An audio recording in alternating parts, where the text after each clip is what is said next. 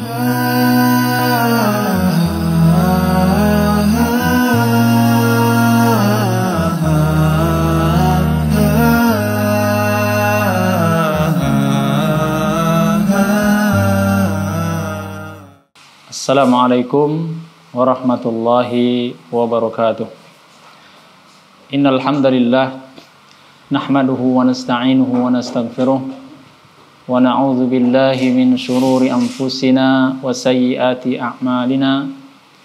من يهده الله فلا مضل له ومن يضلل فلا هادي له. أشهد أن لا إله إلا الله وأشهد أن محمدا عبده ورسوله. يا أيها الذين آمنوا اتقوا الله حق تقاته ولا تموتن إلا وأنتم مسلمون. يا أيها الناس اتقوا ربكم الذي خلقكم من نفس واحدة وخلق منها زوجها وبث منهما رجالا كثيرا ونساء واتقوا الله الذي تساءلون به والأرحام إن الله كان عليكم رقيبا يا أيها الذين آمنوا اتقوا الله وقولوا قولا سديدا يصلح لكم أعمالكم ويغفر لكم ذنوبكم ومن يطع الله ورسوله فقد فاز فوزا عظيما. أما بعد فإن أصدق الحديث كتاب الله وخير الهدي هدي محمد صلى الله عليه وسلم muhdatsatuha fa inna kulla muhdatsatin bid'ah wa kulla bid'atin dhalalah wa kulla dhalalatin finnar kaum muslimin dan muslimat di mana pun anda berada pertama sekali senantiasa kita memuji dan bersyukur kepada Allah Rabbul Alamin sebagaimana Allah Subhanahu wa taala sebutkan di dalam surat Al-Fatihah Alhamdulillahi Rabbil Alamin. Segala puji bagi Allah subhanahu wa ta'ala Rabb sekalian alam. Allah subhanahu wa ta'ala menciptakan apa yang ada di langit apa yang ada di bumi itu semuanya tentu ada manfaatnya di antaranya Allah Subhanahu wa taala menciptakan manusia agar manusia juga bisa memanfaatkan apa yang ada di permukaan bumi ini. Di antaranya manusia bisa memanfaatkan bumi dengan dalam bumi dengan adanya air, kemudian dengan ada dengan adanya tumbuhan, demikian juga dengan adanya hewan, manusia minum dengan air. Kemudian memakan tumbuh-tumbuhan yang ada. Kemudian memakan hewan-hewan yang dihalalkan oleh Allah Subhanahu wa taala dan rasulnya. Nah, ini merupakan bentuk-bentuk nikmat Allah Subhanahu wa taala yang patut dan harus dan wajib kita syukuri. Karena semuanya itu adalah merupakan ciptaan dari Allah Subhanahu wa taala. Demikian juga kita senantiasa memohon kepada Allah, minta tolong hanya kepada Allah Subhanahu wa taala. Segala sesuatu kita semua minta kepada Allah Subhanahu wa taala, tidak boleh kita minta kepada makhluk. Karena makhluk memiliki keterbatasan. Allah Subhanahu wa taala adalah tempat untuk di mana manusia meminta apa pun yang kita minta kepada Allah, maka mintalah. Karena Allah Subhanahu wa taala mengabulkan segala apa yang kita minta. Tentu hamba tersebut ada hal-hal yang perlu dia lakukan. Ya, di antaranya adalah beribadah kepada Allah dengan benar, kemudian juga mengikuti sunnah Nabi Shallallahu Alaihi Wasallam. Maka bagi orang-orang atau bagi manusia yang tidak mengikuti perintah Allah dan Rasulnya, bagaimana doanya akan dikabulkan. Nah, oleh karena itu pentingnya kita untuk senantiasa mengingat Allah dengan zikir kepada Allah, kemudian dengan membaca Al-Quran, dengan melaksanakan salat-salat yang wajib, kemudian juga melaksanakan ibadah-ibadah yang sunnah yang disebutkan ya di dalam Al-Quran maupun hadis-hadis Nabi Shallallahu Alaihi Wasallam. Demikian juga kita diperintahkan untuk beristighfar kepada Allah. Maka istighfar itu berlaku kepada siapa saja. Ya, berlaku kepada ustaz, guru atau manusia biasa. Istighfar kita kepada Allah Subhanahu wa taala dalam salat, istighfar kita kepada Allah Subhanahu wa taala dalam doa. Demikian juga disebutkan dalam Al-Qur'an dan hadis-hadis Nabi sallallahu alaihi wasallam banyak kita diperintahkan untuk selalu beristighfar kepada Allah Subhanahu wa taala memohon ampun dari dosa-dosa besar dan juga memohon ampun kepada Allah dari dosa-dosa kecil. Demikian juga kita berlindung kepada Allah Subhanahu wa taala dari keburukan diri kita sendiri. Karena manusia terkadang condong untuk melakukan perbuatan dosa ketika imannya lemah, tentu dia mudah untuk melakukan perbuatan dosa, mudah untuk melakukan perbuatan maksiat, mudah untuk melakukan perbuatan buruk atau perbuatan jelek yang lainnya yang semuanya itu dilarang oleh Allah Subhanahu wa taala dan rasulnya. Demikian juga ketika imannya lemah, maka dia mengerjakan hal-hal yang diharamkan Allah atau melakukan hal-hal yang diharamkan oleh Allah Subhanahu wa taala dengan meninggalkan apa yang dihalalkan oleh Allah. Demikian juga kita berlindung kepada Allah dari jeleknya amalan-amalan kita. Ya, amalan-amalan kita tentu terutama dalam hal agama kalau kita beramal satu ibadah atau satu amalan yang tidak dicontohkan oleh Nabi Shallallahu Alaihi Wasallam dan ini termasuk bagian juga hal-hal yang tidak baik, hal-hal yang bisa mengurangi pahala. Karena Nabi Shallallahu Alaihi Wasallam sudah mengajarkan Islam kepada kita secara sempurna. Tidak boleh kita e, menambahi, demikian juga tidak boleh kita mengurangi agama. Apa yang datang dari Rasul maka itulah kerjakan. Dan apa yang dilalang oleh Rasul Shallallahu Alaihi Wasallam itulah yang kita tinggalkan.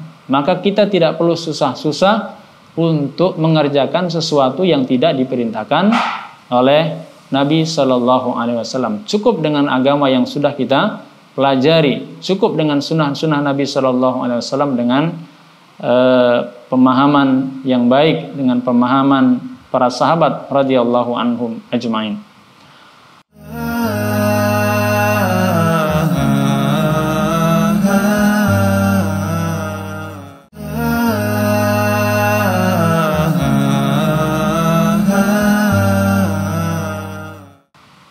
Kemudian uh, siapa yang Allah Subhanahu wa taala berikan hidayah maka Allah Subhanahu wa taala akan memberikan hidayah kepadanya dan tidak ada satu makhluk pun yang bisa menyesatkannya.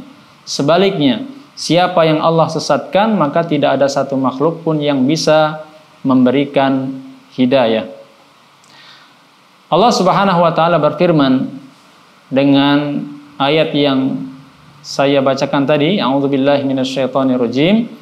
Ya ayyuhalladzina amanu taqullaha haqqa tuqatih wala tamutunna illa wa antum muslimun wahai orang-orang yang beriman bertakwalah kepada Allah dengan sebenar-benar takwa dan janganlah kalian mati kecuali dalam keadaan muslim atau berserah diri kepada Allah Subhanahu wa taala. Maka ini perkara yang sangat penting bagi kita untuk tetap tegar di jalan Allah, tetap tegar di jalan sunnah Nabi Shallallahu alaihi wasallam sampai dengan ajal datang kepada kita, sampai dengan ruh keluar dari jasad kita, sampai dengan malaikat maut menjemput kita. Kita tetap ya berada di agama Allah, tetap berada di e, berada dalam keimanan kepada Allah Subhanahu wa taala. Kaum muslimin dan muslimat di mana pun Anda berada, pada kesempatan Kali ini kita akan membahas tentang adab yang sangat penting ya dalam kehidupan kita yaitu adab membaca Al-Qur'an. Ya, adab membaca Al-Qur'an. Al-Qur'an adalah merupakan kalamullah, ucapan Allah Subhanahu wa taala.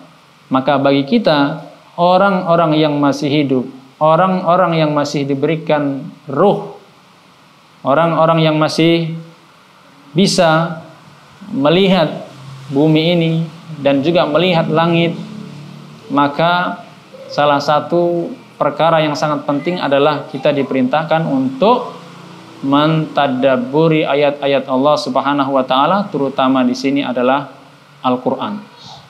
Al-Qur'an ya, ketika kita membaca tentu ada ada adab ada adab-adabnya. Demikian yang kita baca dan yang terpenting juga kita membahas apa yang ada di dalam Al-Qur'an, isi kandungan Al-Qur'an dengan cara membaca tafsir para ulama tentang ayat-ayat yang kita baca. Dan juga kita lihat bagaimana para sahabat radhiyallahu anhum ketika membaca Al-Qur'an ya, mereka penuh dengan kekhusyukan membaca Al-Qur'an, kemudian memahami isi Al-Qur'an, kemudian mempraktekkan apa yang ada di dalam Al-Quran. Baik, kita akan sebutkan ya beberapa adab-adab membaca Al-Quran. Di antaranya adalah hendaklah ketika kita membaca Al-Quran timbulkan, munculkan dalam hati kita itu keikhlasan ketika membacanya. Ya, keikhlasan dalam membacanya, keikhlasan juga dalam mengamalkan Al-Quran. Ya, setelah kita membaca Al-Qur'an, kemudian memahami Al-Qur'an, kemudian kita mempraktekkan apa yang ada di dalam Al-Qur'an. Karena di antara isi Al-Qur'an salah satunya yang kita praktekkan adalah perintah ya untuk berwudu. Nah, ini Allah Subhanahu wa taala juga sebutkan di dalam Al-Qur'an perintah untuk berwudu. Setelah kita mengetahui ilmunya, maka kita praktekkan bagaimana wudu yang Allah Subhanahu wa taala jelaskan di dalam Al-Qur'an, kemudian dijelaskan lagi di dalam hadis-hadis Nabi Shallallahu alaihi wasallam bagaimana tata cara wudhu yang yang sesuai dengan sunnah Nabi Shallallahu alaihi wasallam. Maka yang pertama tadi bahwa ketika kita membaca Al-Qur'an hendaklah munculkan keikhlasan ketika membaca Al-Qur'an. Karena Al-Qur'an adalah merupakan kalamullah yang betul-betul kita harus bisa ya renungi, bisa eh, dalami makna yang ada di dalam Al-Qur'an tersebut. Nah, setelah kita membaca, kemudian kita merenungi, kemudian setelah kita juga membaca tafsir-tafsir dalam Al-Qur'an, ya, tafsir dari para ulama tentang e, maksud dari ayat-ayat, maka yang terpenting adalah bagaimana kita mengamalkan Al-Quran tadi. Ya, sebagaimana yang saya sebutkan tadi, ya perintah untuk berwudu, ya perintah untuk melaksanakan sholat, perintah untuk e, mengerjakan atau berpuasa pada bulan Ramadan. Ya, maka yang kedua ini adalah bagaimana kita bisa mengamalkan Al-Quran. Yang selanjutnya adalah senantiasa memotivasi diri kita itu untuk selalu mengulang-ulang Al-Quran. Ya, atau mengikat Al-Quran. Kalau dia mungkin ingin hafalan Qurannya bertambah, maka hendaklah dia ulang-ulang hafalannya. Kalau dia hanya ingin sekedar membaca, juga harus dia ulang-ulang. Ya. Karena kalau kita sering mengulang-ulang, maka kita akan mudah untuk ya membacanya dan mudah untuk menghafalnya.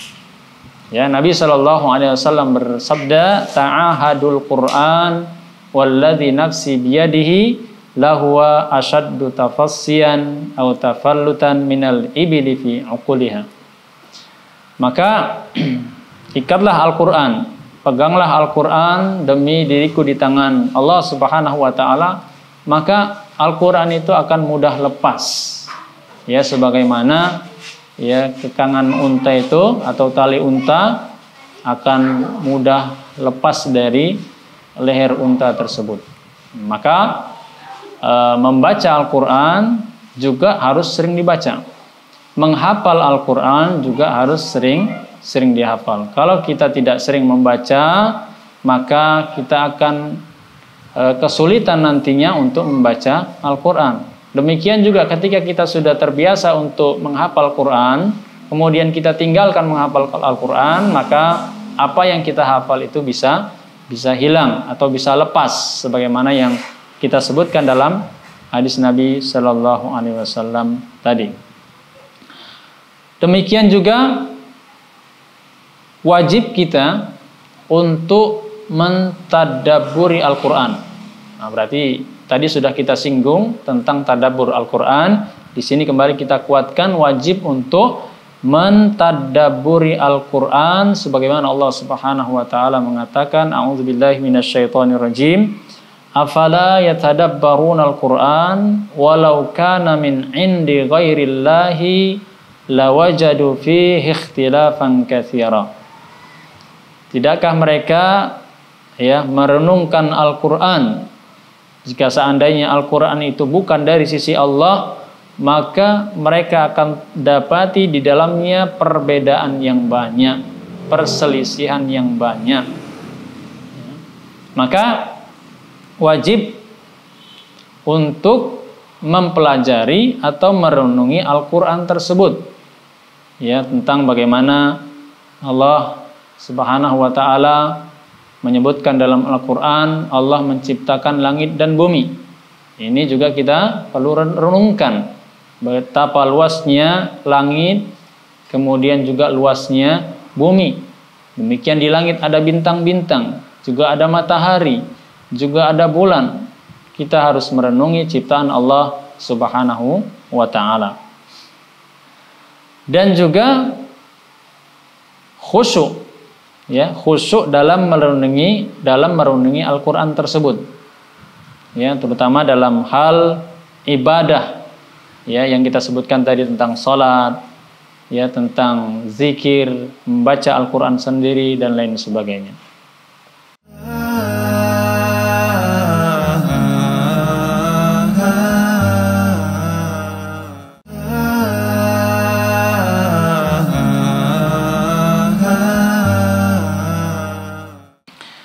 Demikian juga ya di antara adab membaca Al-Qur'an jika seseorang itu ingin membaca Al-Qur'an, ya, boleh dia membaca Al-Qur'an dalam keadaan berdiri, ya, atau dalam keadaan e, berjalan atau dalam keadaan berbaring, ya, atau dalam keadaan kita sedang berkendara. Kenapa demikian? Ya, karena disebutkan juga dalam ya hadis bahwa Aisyah radhiyallahu anha mengatakan sesungguhnya Nabi Shallallahu alaihi wasallam ya uh, berada di pangkuanku dan ketika itu aku dalam keadaan haid dan Nabi Shallallahu alaihi wasallam membaca Al-Qur'an.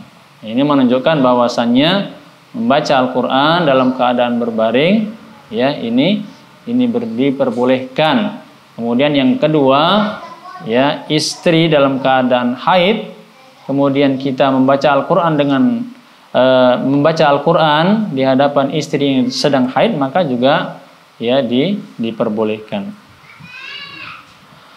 Demikian termasuk adab membaca Al-Qur'an adalah meletakkan Al-Qur'an di tempat yang layak.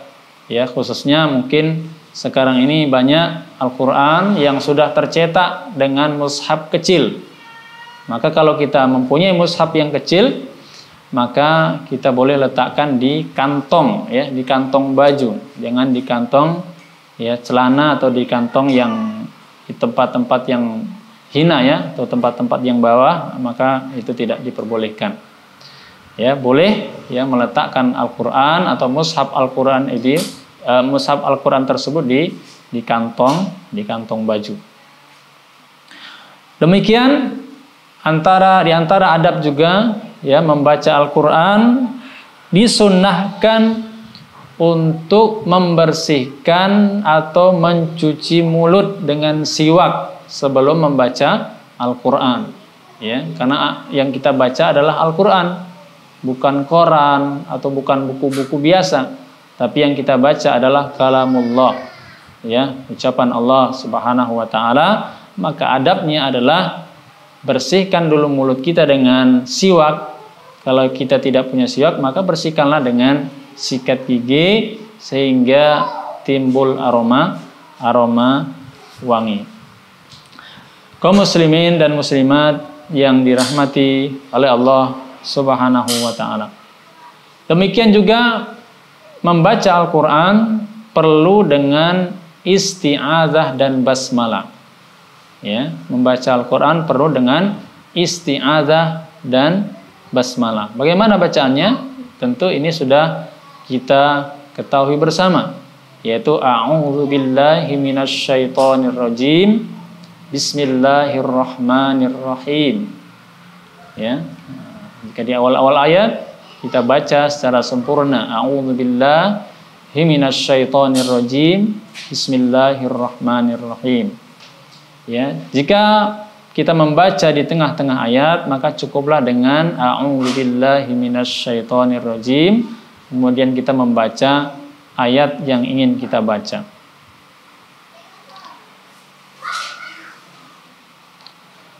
Selanjutnya, nah mungkin kebanyakan kaum muslimin ketika selesai membaca Al-Quran, ya dia mengucapkan sadaqallahul azim, ya sadaqallahul azim. Nah ini ya ucapan sadaqallahul azim adalah tidak ada disebutkan riwayat yang sahih tentang ucapan ini. Ya, sekali lagi, sadaqallahul azim adalah ucapan atau e, kalimat yang tidak disebutkan dalam hadis-hadis yang sahih. Artinya tidak ada hadis yang sahih yang menyebutkan setelah membaca Al-Qur'an kita mengucapkan sadaqallahul azim. Ya. Ya biasa saja ya cukup setelah kita membaca Al-Qur'an misalnya membaca Al-Fatihah amin selesai ya tidak kita baca ya bacaan-bacaan yang lainnya